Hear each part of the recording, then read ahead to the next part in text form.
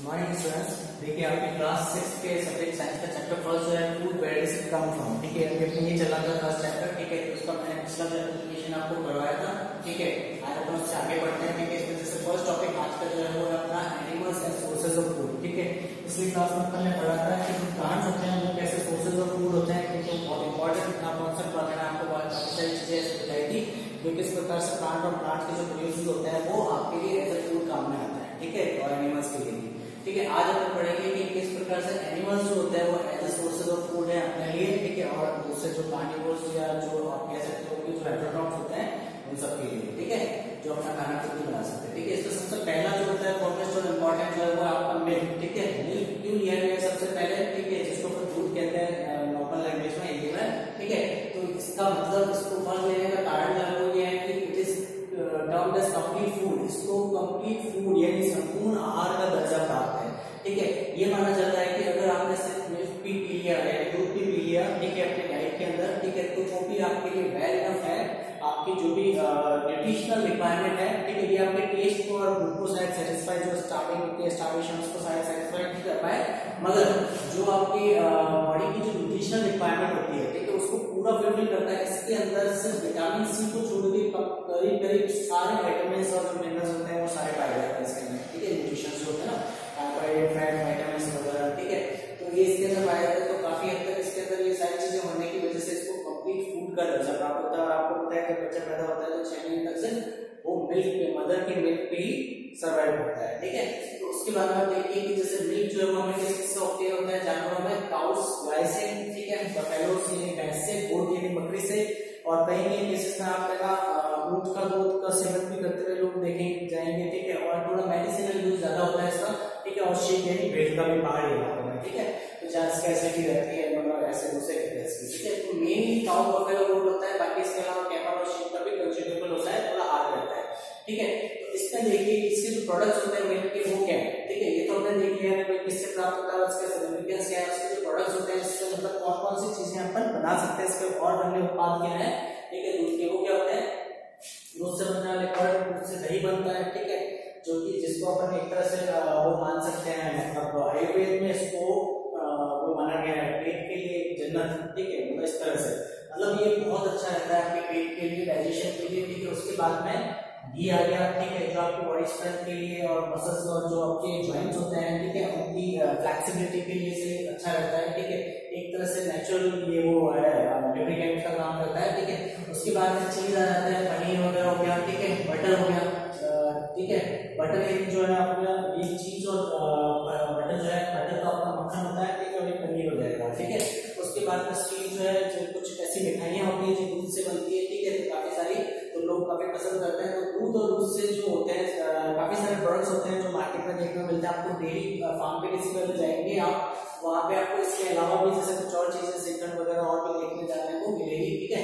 दूध एक बहुत ही इंपॉर्टेंट सोर्स हो गया, ठीक है? एनिमल सोर्स ऑफ़ फ़ूड ठीक है? उसके बाद में आता है एग्स के अंदर, ठीक है?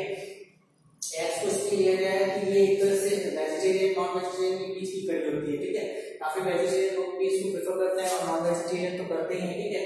तो एग्स जो होते हैं, अंडे होते हैं, ये आपको मेनली किससे प्राप्त होते हैं? एग्स मुर्गियों से और डक्स जो होती है बतखें इनसे भी प्राप्त होती है, ठीक है? इसके मेन दो पार्ट होते हैं एग कैंसर अगर आप खाते हैं, ठीक है? तो उसमें देखिए कभी देखा होगा आपने कि अंदर का जो पार्ट होता है, वो होता है यॉक ठीक है? जो येलो कलर का होता है, पीले रंग का, ठीक है? उसको यॉक कहा जाता है और जो बाहर व्हाइट कलर का जो सॉफ्ट होता है, ठीक है? वो पार्ट आपका क्या कहलाता है? एल्ब्यूमिन कहलाता है, ठीक है? तो थोड़ा फ्लैशी होता है या एल्ब्यूमिन होता है, ये व्हाइट कलर का पार्ट होता है। मेनली यॉक जो है, वो आपको फैट्स और लिपिड्स प्रोवाइड करता है बॉडी को, ठीक है? और एल्ब्यूमिन जो है, वो आपको क्या करता है? मेनली प्रोटीन देता है, ठीक है? तो जिनको सिर्फ़ प्रोटीन स्पेसिफिक होते हैं, वो एग का सिर्फ़ एल्ब्यूमिन वाला पार्ट ज़्यादा कंज्यूम करते हैं। जिनको फैट या बॉडी पे थोड़ा सा मतलब फैटी करना है तो वो यॉक जो है उसका कंजम्पशन ज़्यादा करता है, ठीक है? उसके बाद में एग का जो सेल होता है, ऊपर की जो व्हाइट कवरिंग होती है, जिसके अंदर एग जो है वो प्रोटेक्ट करता है, ठीक है?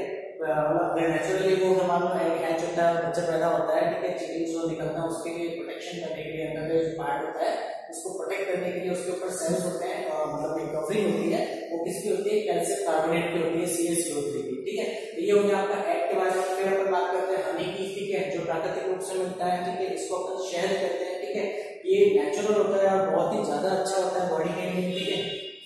ये मतलब बहुत सारे इसके यूजेस होते हैं। प्राप्त ये किससे होता है? हनी बी से, मधुमक्खियों से होता है, ठीक है। मधुमक्खियों का पूरा एक कुंभा होता है, पूरा एक फैमिली होती है बड़ी, ठीक है, वो एक बी हाइव्स यानी मतलब जो मधुमक्खी का छत्ता होता है, जो बड़ी बिल्डिंग है, या कोई टंकी है, पानी की, या कोई पुराना जगह जहाँ पे पॉपुलेशन कम होता है, वहाँ पे ये पाई जाती है, ठीक है? और थोड़ी हाइट पे ज़्यादा रहती है एरोप्लेन के छत्ते देखने को मिलते हैं, ठीक है?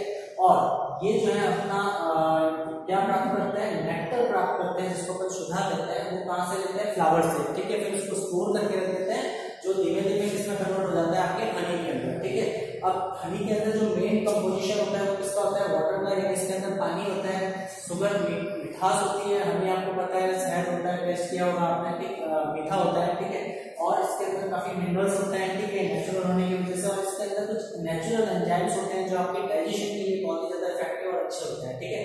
मेनली ये जनरली आपके लिए बॉडी के अंदर एंटीसेप्टिक का काम भी करता है, जैसे अगर मान लो चोट लग गई है या कुछ इन्फेक्शन है माइल्ड ठीक है तो उस केस में या गले के इन्फेक्शन में भी इसको बहुत ज़्यादा तरजीह दी जाती है। एंटीसेप्टिक जो होते हैं, ठीक है, इसको खांसी जुकाम बुखार में भी थोड़ा सा अपन ले सकते हैं आयुर्वेदिक दवा के रूप में। तो एंटीसेप्टिक जो होता है, साथ में आप इसमें जिंजर वगैरह का यूज़ भी कर सकते हैं, ठीक है। तो एंटीसेप्टिक के रूप में भी काम आता है और ये क्या होता है, बहुत सारा, बहुत ज़्यादा डाइजेस्टेबल होता है, ठीक है। डाइजेस्टेबल होने का मतलब है कि पाचन में बहुत आपके काम का होता है। आप आसानी से पचा सकते हैं, प्लस इसके साथ में कंज्यूम की हुई चीज़ें भी आसानी से पचने देता है, ठीक है। और मेनली इसका जो यूज़ होता है बहुत ज़्यादा मेडिसिन के अंदर होता है कि आप अगर देखेंगे होम्योपैथी आयुर्वेदिक जो दवाइयाँ होती है मेनली उसमें ज़्यादा इसका उपयोग होता है ठीक है? उसके बाद में हम बात करते हैं मेन पी के लिए मेनली किसको लेके होता है? स्पेसिफिक ये होता है कार्निवोर्स के लिए, ठीक है? और इंसानों, इंसान के भी वेजिटेरियन नॉन दोनों होते हैं, ठीक है? जिसको अपन ओमनिवोर्स कहते हैं तो उनके काम की चीज़ होती है, ठीक है? एक्चुअली वैसे इसका क्या होता है कि मेन जो कारण होता है जो स्पोर्ट्स पर्सन होते हैं ठीक है? जैसे रेसलर्स हैं या स्पोर्ट्स पर्सन में जैसे आ, कोई धावक है रेसर है ठीक है? या कुछ भी है ठीक है ना? भार उठाने वाले हैं ठीक है? तो इसमें इन लोगों को क्या होता है? बहुत ज़्यादा प्रोटीन की आवश्यकता होती है। तो जो बॉडी को रियल जो प्रोटीन मिलता है वो किससे मिलता है? एनिमल प्रोटीन से ठीक है? तो जब प्रोटीन की आवश्यकता ज़्यादा होती है तो उस समय मीट का कंजप्शन जो है वो एडवाइजेबल होता है। अदरवाइज़ जो है वेज मच फार बेटर होता है नॉन वेज ठीक है? उसके बाद में आप देखिए प्राप्त किससे होता है? दूध से होता है ठीक है? के रूप में पिग से होता है सुअर से ठीक है? चिकन होता है, जो मुर्गी वगैरह होता है, उनके बच्चे होते हैं उनसे, ठीक है? इसको अपन लैक्टिस वगैरह इस नाम से भी जानते हैं, इसको रोस्टेड करके पका के खाया जाता है, और शीप जो होती है उसका भी ठीक है? तो काफ़ी और भी जानवर होते हैं मेनली इनका ज़्यादा है, ठीक है? इसके अलावा आप देखिए जो समुद्र के किनारे पे रहने वाले जो लोग होते हैं, ठीक है? वहाँ पे सबसे ज़्यादा खाना खाए जाने वाला जो होता है, उनका फ़िश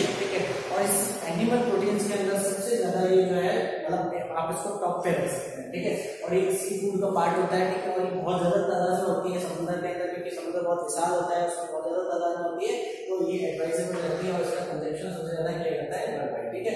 एनिमल प्रोटीन के अंदर फिर अपन देखो कुछ रिव्यू करते हैं। अभी तक आपने जो पढ़ा है ठीक है उसको लेके। आपकी बुक के अंदर क्वेश्चन दिए हैं रिव्यू टाइम में, देखिए फ़र्स्ट क्वेश्चन इसमें दिया है, जैसे shell of an egg is made up of sodium chloride ठीक है, जिसको अपन NaCl कहते हैं, ये आपका नॉर्मल का कॉमन सॉल्ट होता है, ठीक है? तो इससे तो बन नहीं सकता। दूसरा होता है कैल्शियम कार्बोनेट, ठीक है? तो कैल्शियम कार्बोनेट जैसे मैंने यहाँ पे बताया है ठीक है? कैल्शियम कार्बोनेट से इसका सेल जो बना होता है थोड़ी सी टफ कवरिंग होती है तो प्रोटेक्ट करता है, ठीक है? इनसाइड जो उसका डेलिकेट पार्ट होता है, उसको प्रोटेक्ट करने के लिए नेक्स्ट जो है इसमें हनी जो मेकिंग हनी जो है वो क्या बनाने में काम आता है? मेडिसिन से एलोए वगैरह नहीं तो उसके जो आपके मिनरल्स होते हैं, जैसे एस वगैरह, उनमें काम की चीज़ें तो यहाँ पे तो उसका यूज़ होना है, ठीक है? तो यहाँ पे ये किसमें काम आता है आपके मेडिसिन के अंदर, ठीक है? दवाइयों में इसका उपयोग होता है तो मेडिसिन का सही आंसर हो जाएगा फिर major source of animal protein animal protein का जो मेजर सोर्स होता है, वो क्या हो जाएगा आपका? फ़िश हो जाएगा, ठीक है? जैसा कि मैंने आपको बताया कि सबसे ज़्यादा खाया जाने वाला कंज्यूम किए जाने वाला फ़ूड होता है सी फ़ूड के रूप में जो नॉन वेजिटेरियन होता है उनके लिए, ठीक है? तो ये सी फ़ूड में आपको प्राप्त हो जाएगा और ये मेजर सोर्स होता है प्रोटीन का, ठीक है? उसके बाद में structure in which we eat their honey honey जो बीज जो है हनी जो शहद है, उसको कहाँ पे स्टोर करके रखती है, वो स्टोर कर, करके रखती है अपनी बीहाइव में, ठीक है? उसमें भी कंपार्टमेंट्स होते हैं मतलब इसका मेन वर्ड क्या हो जाएगा? बीहाइव यानी मधुमक्खी का छत्ता, ठीक है? फिर नेक्स्ट है यॉक इज़ रिच यॉक जो है वो फैट रिच होता है मतलब इसमें फैट लिपिड ज़्यादा होता है, ये बॉडी को फैट बढ़ाने में ज़्यादा आपको सहयोग करेगा अदर देन ठीक है प्रोटीन एल्बुमिन पार्ट जो है व्हाइट पार्ट वो प्रोटीन यानी सेल्स मसल्स वगैरह बनाने में आपको ज़्यादा हेल्प करेगा, ठीक है? ये हो गया। नेक्स्ट टॉपिक जो आता है, इसमें आता है आपका how does how food comes to us ठीक है? अब अपन घर पे क्या करते हैं, अपन जाते हैं अगर कोई नॉर्मल अगर आपसे पूछा जाए तो एज ए uh, बच्चे के रूप में आप चिल्ड्रन के रूप में आप ये बोल सकते हो कि भैया मतलब खाना घर से खराब होता है। बिल्कुल सही बात है, घर में किचन में जाते हैं, वहाँ पे जो भी अपना टिफ़िन होता है, ठीक है? जो बाउल होता है, उसके अंदर सब चीज़ें होती है तो अपना खाना फिर से वगैरह किसी से बात करते हैं। मगर ये आता कहाँ से? क्योंकि एक्चुअली मैन जो होता है वो खाना बनाता नहीं कुक करता है, मेरे पकाता है, ठीक है? तो हमेशा देख के आप क्या बोला जाता है? I am cooking food rather than I am making food कोई भी मेकिंग फ़ूड नहीं कहता है कुकिंग फ़ूड कहता है कि खाना बनाया नहीं जाता, खाना पकाया जाता है, खाना बन के कहाँ से आता है?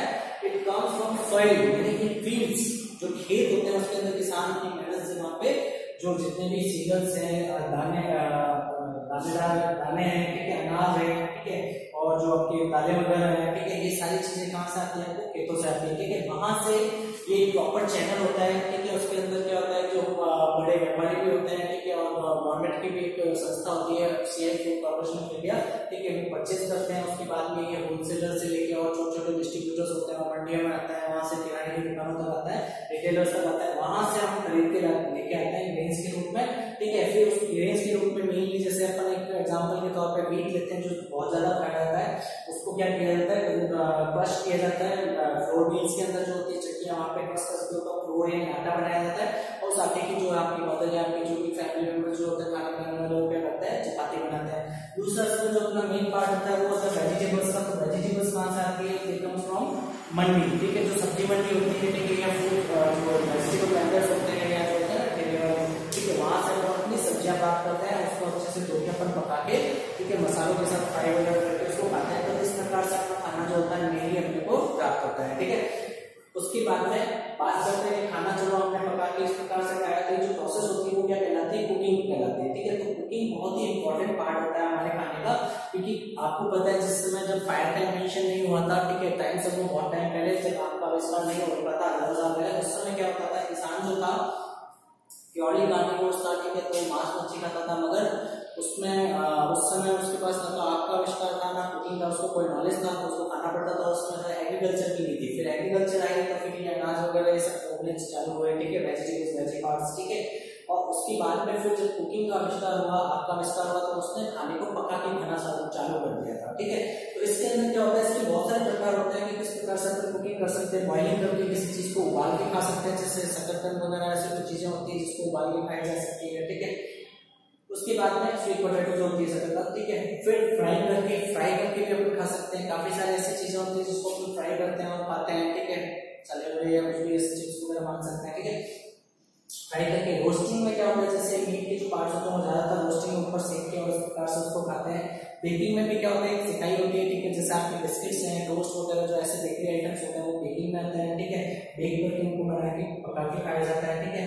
स्टीमिंग यानी काफ़ी चीज़ें होती है जो भाप में पक के तैयार हो जाती है, ठीक है? तो उसको अपन कहते हैं स्टीमिंग पार्ट ठीक है? तो उसमें क्या होता है आपको? उसको डायरेक्ट आग नहीं देनी होती है।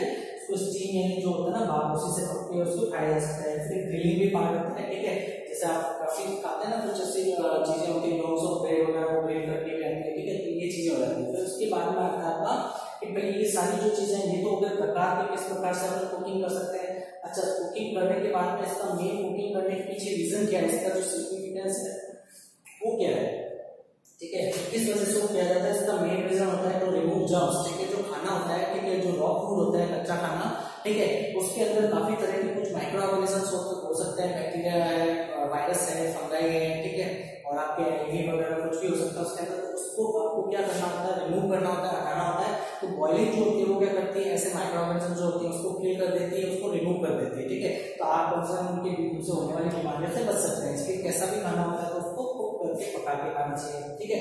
दूसरा होता है it also add taste and flavour खाने के अंदर टेस्ट और फ्लेवर जो होता है ना, उसको अपन स्वाद कहते हैं ठीक है, वो भी ऐड करता है कि अपन जब मसाले थे वगैरह जो भी अपन उसके साथ में एडेंट्स डाल के उसको जब इंग्रेडिएंट के साथ में उसको पकाते हैं। ठीक है तो खाना काफ़ी टेस्टी बन जाता है, ठीक है? आप भी देखना मीट का जो टेस्ट होता है मेनली स्पाइसेस की वजह से उसको जिस प्रकार से पकाया बनाया जाता है उसका होता है ठीक है तो मेनली अपन कह सकते हैं जो स्पाइसेस हैं, वही आपका सबसे इंपॉर्टेंट पार्ट होता है टेस्ट के लिए, ठीक है? और फ्लेवर देने के लिए आप कुकिंग करके उसको इस प्रकार से कर सकते हैं, ठीक है? नेक्स्ट आता है आपका फ़ूड प्रिजर्वेशन काफ़ी सारे ऐसे खाने होते हैं, या खाने की चीज़ें होती है जिनको क्या होता है स्टोर करके रखना पड़ता है, ठीक है? तो कभी कभी क्या होता है सीजनल फ़ूड होते हैं, ठीक है? जैसे सीजनल वेजिटेबल्स हो सकती है सीजनल फ्रूट्स हो सकते हैं, ठीक है? जो एक पर्टिकुलर सीज़न में होते हैं, जैसे आम जो है वो सब गर्मियों में होते हैं, ठीक है? और आपके जो पॉम्प्रेनेट होते हैं अनार वो अक्सर सर्दियों में आते हैं। ठीक है तो इस प्रकार ये जो चीज़ होती है, अगर आपको दूसरे सीज़न में भी चाहिए एप्पल्स वगैरह जैसे मान लो गर्मी में चाहिए तो ये कहाँ से आती है come from cold storage cold storage के अंदर क्या किया जाता है फ़ूड को एक बड़ी फ्रिज होती है ऐसा एनवायरमेंट होता है, उनका कमर्शियल ठीक उसके अंदर वो क्या करते हैं उसको स्टोर करके रखते हैं, और वहाँ से आप किसी दूसरे सीज़न में भी, दूसरे सीज़न की सब्ज़ी या फ़ूड वगैरह जो भी चीज़ है, ठीक है, वो प्राप्त कर सकते हो। ठीक है तो एक तो हो गया कोल्ड स्टोरेज का ठीक है तो कमर्शियल लेवल पे बड़ी पार्ट पे बात हो जाती है, ठीक है? तो मार्केट सप्लाई को देखते हुए। नेक्स्ट अगर अपन घर पे भी देखते हैं तो हम क्या करते हैं to preserve food from getting spoil यानी खाने को स्पाइल खाने को बर्बाद होने से, खराब होने से, सड़ने से बचाने के लिए हम क्या करते हैं, उसको प्रिजर्व करते हैं उसको संरक्षित करते हैं, उसको बचा के रखते हैं, ठीक है? तो बचा के रखेंगे तो ताकि अपन फ्यूचर कंजप्शन कर सकें, उसको अच्छा बचा के किससे रख सकते हैं, उसके लिए कुछ फ़ूड प्रिजर्वेटिव्स होते हैं, ठीक है? जो नेचुरल या फिर केमिकली सिंथेसाइज भी जो है फैक्ट्री प्रोड्यूस भी हो सकता है, ठीक है? तो ये फ़ूड प्रिजर्वेटिव क्या करते हैं? आपको खाने को संरक्षित करके रखते हैं बचा के रखते हैं, ठीक है? इसमें मेनली जो आते हैं वो आता है घर का कॉमन सॉल्ट ठीक है? नमक में जैसा किसी चीज़ को आपने अगर डुबो के रखते हैं तो काफ़ी लंबे टाइम तक खराब होती है। विनेगर जो होता है सिगल्स को कहते हैं, ये भी काम में आता है काफ़ी सारी चीज़ें जैसे आपके मैगी वगैरह या नूडल्स पास्ता को बनाना उसमें भी डाला जाता है, ठीक है? शुगर फिर शक्कर शक्कर में भी कोई चीज़ डाल के रखते हैं तो वो भी इजीली खराब नहीं होती है। फिर अगर बात करें ऑयल और घी ठीक है तो ये भी क्या करते हैं इजीली जो है माइक्रो ऑर्गेनिज्म को पहुँचने नहीं देते हैं कहाँ तक फ़ूड का जो मेन कंटेंट्स होते हैं, वहाँ तक, ठीक है तो इस तरह बनी हुई चीज़ें भी होती है ज़्यादा केसेस में ठीक है तो वो काफ़ी टाइम तक ये खराब नहीं होती, जैसे घी में बने हुए होते हैं तो आपके काफ़ी टाइम तक चलते हैं, सर्दियों में, जो आपने देखा होगा घर पे, ठीक है, ये हो गया आपका जो प्रिजर्वेटर्स यानी खाने को सुरक्षित करने वाले, ठीक है संरक्षक ठीक है? उसके बाद में आता है पॉस्चराइजेशन टेक्निक होती है जो लुइस पास्चर नाम के साइंटिस्ट ने दी थी जिसमें 70 डिग्री टेम्परेचर पर किसी चीज़ को मतलब हाई टेम्परेचर पे आपको उसको सत्तर सेकंड या कुछ टाइम के लिए उसको रखना होता है और इमीडिएटली उसको कूल करना होता है, ठीक है? ऐसी चीज़ होती है, उसको अपन बोलते हैं पास्चराइजेशन पास्चराइजेशन की प्रोसेस ठीक है? इससे पॉस्चराइज की भी जो चीज़ होती है, वो लंबे समय तक जर्म से फ्री रहती है और खराब नहीं होती, ठीक है? इसमें मेन वजह से दूध को पास्चराइज किया जाता है। पास्चराइज मेन जो आता है जैसा कि सोलह साबुन वगैरह जो आप पैकेज में दिया है तो आपके दो चार दिन तक चल जाता है नॉर्मली यूज़ में रखते ठीक है? तो वो पास्चराइज हो जाते हैं इसलिए ठीक है? उसके बाद में एक और पार्ट होता है जैसे बॉयलिंग के काम जो खुला दूध जो लेते हैं, ठीक है? तो उसको तो स्पेशली बॉयल करना बहुत ही ज़्यादा आवश्यक होता है, ठीक है? बॉयल करने से क्या होगा उसके अंदर के जर्म्स कीटाणु मर जाएँगे उसको फिर आपको स्टोर करके रख सकते हो, ठीक है? फिर दूसरा एक और तरीका होता है जैसे वेजिटेबल्स या कुछ चीज़ें हैं, ठीक है ना? या फ्रूट्स वगैरह वो आप लेके आए तो उसको आप क्या करोगे? फ्रिज के अंदर रखोगे कूलिंग दोगे उसको। तो अगर आप अच्छी कूलिंग देते हैं तो भी खाना जो है वो इजीली खराब नहीं होता है, और अगर बॉइल करके गर्म अच्छे से गर्म करके रखा हुआ है तो भी काफ़ी टाइम तक चल जाता है, ठीक है? तो ये सारी चीज़ें रहती है। तो ये सब जो चीज़ें थी, वो क्या थी आपको? खाने को कैसे प्रिजर्व करके रखा जा सकता है, ठीक है? तो इस प्रकार से आपने जो चैप्टर है यहाँ पे, इस टॉपिक के साथ खत्म हो जाता है